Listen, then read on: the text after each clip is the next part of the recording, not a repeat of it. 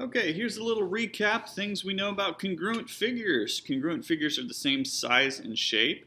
All of the corresponding sides and angles are going to be congruent, okay? And then our congruence um, transformations are going to be these three, translations, reflections, rotations. All of those, the pre-image and the image, so the, the beginning uh, where you start and where you finish, the original image and the final one are going to be congruent, okay? Um, and then we have similar figures. Similar figures are figures that are the same shape but different sizes.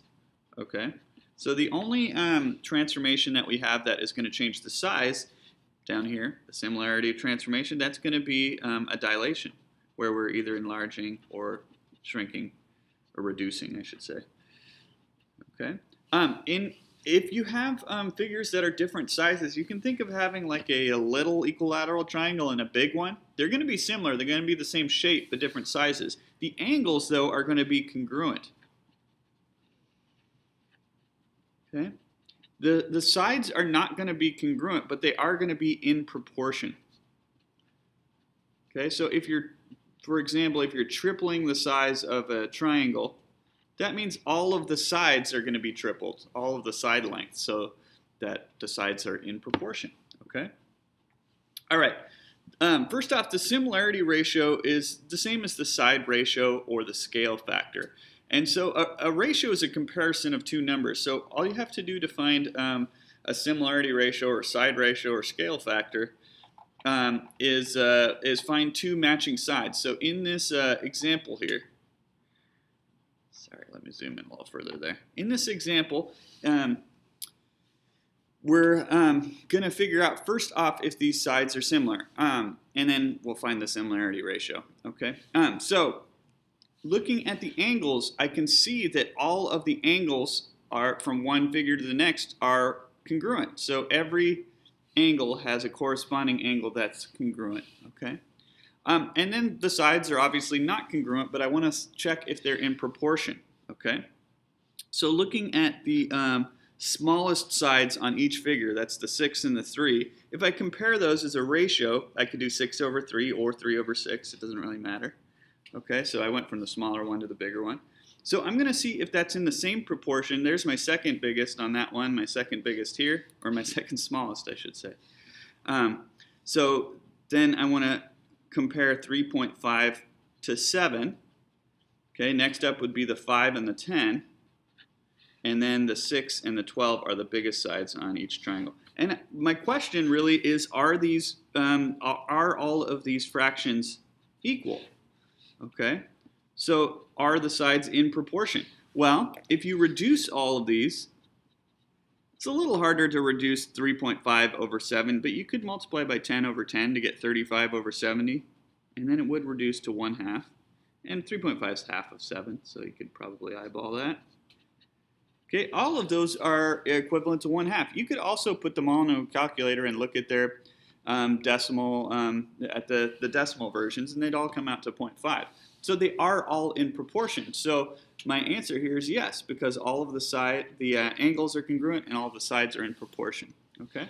If so, what is the similarity ratio? So the similarity ratio, I just choose any two of the sides, like the 3 and the 6, and reduce it. And it doesn't matter which one I choose, right? I'm going to end up with 1 to 2 when I'm comparing this. Now, I went from the small one to the big one, but this particular problem doesn't say go from the small one to the big one or the big one to the small one. Sometimes you'll see problems where it says go from the green triangle to the blue one or whatever. Um, this one I could go either direction, so you could also write that ratio as 2 to 1. Um, I could go from the big one to the small one. Okay. If the figures are similar, which they are, write a similarity statement. So this is going to be very, um, it's pretty much the same thing as a, um, as a, as a congruence statement. Um, so I'm going to call the first figure figure a, B, C, D. Just listing the, uh, the vertices, okay? The symbol for similarity is like this. It's a little squiggly. It doesn't have the equal sign under it like it would if it was congruency, but it's just that same little squiggly sign. Okay, so that means figure ABCD is going to be similar to the other figure. Now, there's one thing I have to be careful about here. It's the same kind of deal with congruent statements I got to make sure that A, since I put A in the first slot, that I have the matching piece over here. And I can see A matches up with E, right? And then B was my second slot, so I need to have that match up with F. So, um, and then it's going to go around, right? So it's going to be E, F, G, H. But what I was trying to get at here is you have to, you can name A, B, this figure any order of those, but then you've got to make sure that you have the other figure set up in the same way that's it, so that you have the congruent angles in the same slots. Okay, and I do here, so here's my similarity statement. Okay. All right, moving on to the next page. All right, next up, are these figures similar? So they definitely look like they're different sizes. Um, so let's check it out though. Keep in mind they could be turned, right? They could be rotated from each other. So I could turn this one on its side. So don't just glance at it and say no because they kind of look different shapes. Think about turning that on its side, okay? Um, so what I want to do, I, I, all of the angles are 90 degrees. So I know all of the angles are congruent. But I still want to check um, if the sides are in proportion, okay? So I'm going to take the smaller this is the smaller side in this rectangle, right? And this is the larger one. Over here, this one's the small one, and this one's the large one. So I'm going to take the small, um, the small side from the smaller rectangle, compare that to the small side from the larger rectangle. And then I'm going to compare my two largest. So I'm going 12 to 14. And my question is, are these congruent. So are these sides in proportion? Well, let's reduce them both. And now that they're reduced, I can see they're not, right? So my answer here is going to be no. They're not similar because the sides aren't in proportion, okay? You could also look at the decimal, um, the decimal equivalents of these fractions to see if you wanted to plug it into a calculator. You could also cross multiply the cross products. If the fractions are equal, then the cross products would be equal. And these are not going to be equal because you get 140 and 144. So then you can test that the fractions aren't equivalent. Okay? All right, that brings us to this, solving for x. This is a proportion, right? I've got two fractions that are equivalent, and that means that their cross products will be equal. There are different ways to solve this, but I think this is the easiest way, okay? So then I've got 9 times 3 is going to be equal to, to uh, 2 times the quantity x plus 2. Make sure you put that x plus 2 in parentheses. It's not just 2x plus 2 without parentheses because we're going to have to distribute that 2 over there. Okay? So on the left side I have 27. Right side, that's going to be 2x plus 4 after I distribute. Okay? Then I'm going to subtract 4 from both sides. Okay? And divide by 2. All right, and so it's not going to come out to an integer, so you could leave it as 23 halves, or that would be 11.5. Okay, then our last problem, um, we're going to solve for x here. So here we're told that these two triangles are similar. I can see that right there. Okay, that's great. So I know all the side, the angles are going to be congruent. Right? So this third angle should be congruent. Um, but all the sides are going to be in proportion, and that's what's more useful here, okay? So I want to make sure that I know what this corresponds to.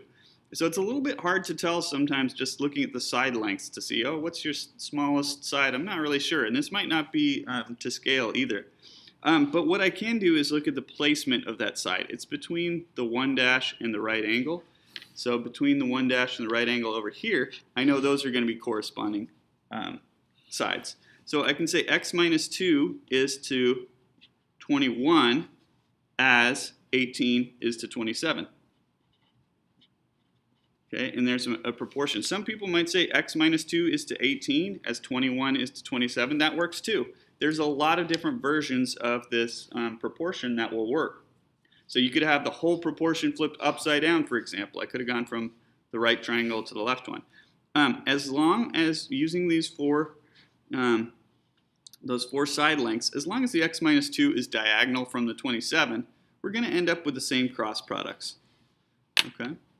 So, you could cross multiply like this if you like, and that will definitely work. But I'm also noticing that I could reduce this fraction. So I'm just deciding, oh, 9 goes into 18 and 27. I might as well just reduce that so I have smaller numbers to work with. So that'll give me 2 thirds over there. And now I'm going to cross multiply. But if you didn't reduce, that's fine. You should get to the same result in the end. So 2 times 21 is going to equal 3 times the quantity, x minus 2. Make sure you use parentheses again there. Okay. So I'm distributing here. On the left, I have 42. Okay, now I'll add 6 to both sides.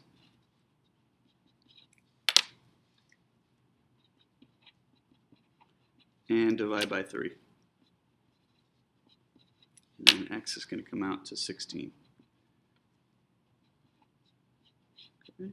And that is it for today, and I'll see you next time.